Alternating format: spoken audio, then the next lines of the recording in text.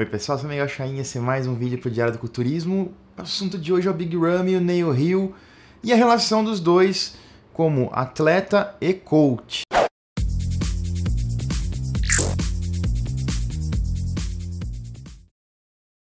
Muito tem se falado do Big Rum nas últimas semanas, aquela história da lesão no ombro, aquelas entrevistas, ele sendo super enigmático em relação ao futuro dele. Tenho lesão, não tenho, vou operar, não vou. Várias versões da história foram contadas, várias coisas foram desmentidas, vídeos foram feitos por ele. Ele assegura que não tem lesão nenhuma, ele assegura que está super bem, que vai competir esse ano. Muita especulação sobre se realmente ele vai competir ou não em 2019. Não sei se a gente vê ele esse ano, mas a gente aguarda até outubro o Tampa. O, a outra grande manchete em torno do Big Ramy que está gerando muita coisa é: ele continua com o Neil Hill ou não?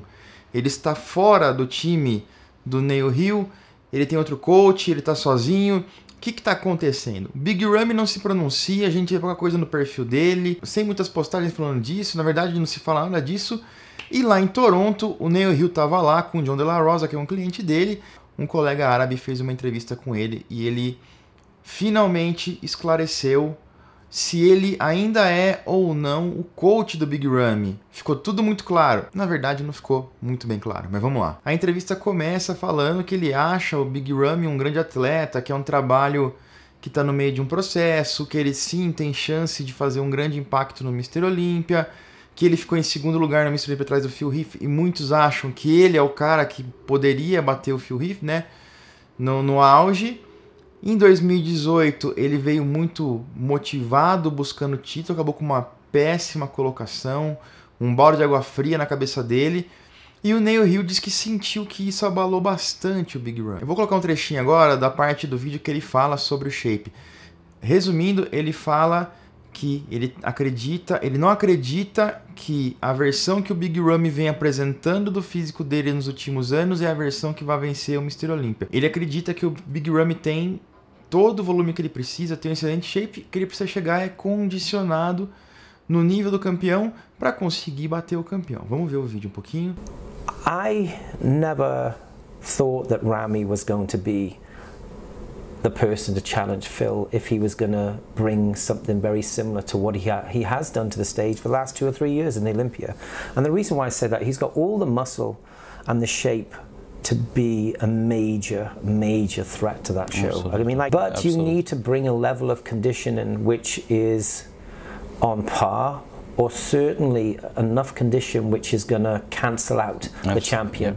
Depois disso ele fala que não sabe o que aconteceu com o Big Ram em 2018, não sabe os protocolos que foram usados, não sabe como foi a dieta, não sabe o que aconteceu na preparação dele que levou aquele físico, aquele resultado que foi tão ruim pro Big Ramy e ele fala que nas primeiras conversas depois do Olympia o Big Ramy procurou o Neil Hill para que ele fosse o seu novo coach e que nas primeiras conversas ele sentiu o Big Ramy muito perdido, ele não sabia qual mais era o foco do Big Ramy. Ele não sabia o que estava acontecendo. O Big Ramy tinha deixado o Oxygen Dean, tinha saído de um lugar que ele estava ali muito acolhido e muito muito familiarizado durante 6, 8, 10 anos, segundo o Neil Hill cita, foi para um lugar diferente, diz que o Big Ramy é muito família, então ele foca muito a família também, às vezes mais a família do que o esporte, e além de ter deixado o Oxygen Gym, o Neil Hill cita a tal lesão no ombro e fala, tá, ele estava cuidando de uma lesão no ombro que aconteceu 16, 18 meses atrás, então imagina, olha só quanto tempo que essa lesão vem incomodando o Big Ramy. Pode não ser uma lesão extremamente séria, que vai fazer com que ele perca o braço, que vai impedir ele de treinar super pesado, mas é uma lesão que vem incomodando há muito tempo e que não sara e que pode evoluir para alguma coisa pior e vem, certamente vem incomodando. Para ter gerado todo esse AUE, é uma lesão que não é uma coisa simples, não é uma dorzinha que passa quando ele faz aquecimento, com toda certeza. Que o, e falou que o Big Ramy, para ser campeão, para conseguir apresentar um físico que vai lutar pelo título, para conseguir apresentar um físico que vai superar aquele de 2017, ele tem que estar completamente focado, totalmente com a cabeça no lugar, com tudo no lugar. E aí nesse trecho do vídeo agora, ele finalmente dá uma posição um pouco mais clara. Ele fala que conversou com o Big Ramy, que falou para ele que em 2019, infelizmente, com tudo que o Big Ramy tá vivendo, com toda coisa, ele, ele disse que não sente, Neil Hill disse que não sente que o Big Ramy esteja pronto para se preparar para dar seu 100% em 2019 e ele disse que o Big Ramy, disse inclusive pro Big Ramy que ele devia não competir em 2019. Por tudo no lugar, por a cabeça no lugar, descobrir onde ele vai morar de verdade, ajeitar tudo, corrigir a lesão e em 2020 voltar com tudo. Ele, então ele nesse trecho ele fala, é, falei com o Big Ramy e disse que não seria possível treiná-lo e prepará-lo em 2019. Big Ramy ficou triste, ele fala que até ficou bem emotivo, bem chateado, mas que ele compreendeu, que ele entendeu a situação e beleza. I can remember myself and him sat down in Egypt, just the two of us, and we spoke. And I said, "Listen, I don't feel you should be competing in 2019. I don't feel you're going to be ready. I feel that uh, there are a number of things which need to be put in place, and you need to uh, find yourself again. You've got to get that passion back. You need direction. Um, I can't prep you in 2019 with all of these things which are taking place or need to be prioritized in order for us to be competitive. It's not because I don't love you, it's not because I don't care for you, it's not because I don't want to help you, it's not because I don't believe that you can win the Olympia title. It's purely because I feel that unless you prioritize and find yourself again, then it's not going to be possible for you to be competitive. Because in order to be competitive the higher at the highest point, you need to be in a mentally, physically strong place. Então quer dizer, até agora o Neil Hill não deixou o Big Ramy, nem o Big Ramy deixou o Neil Hill, mas o Neil Hill falou: "Não vou te preparar para esse ano. Então é só ano que vem, eu quero você pronto."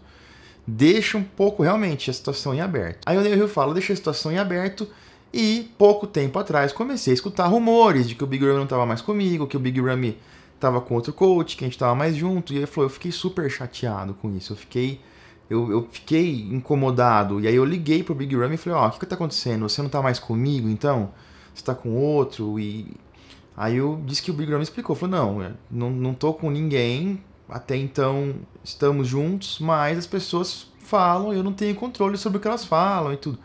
Disse que entendeu, botou uns panos quentes, mas também, é aquela história. Pô, tô, deixei em aberto, vamos ver, ano que vem você volta, é meio, né? Estranha a situação. So I said to him, listen, I'm going to give you your space. I'm going to let you contact me if you want us to move forward at some point, you know, on an off season and a pre-contest. And that's pretty much it.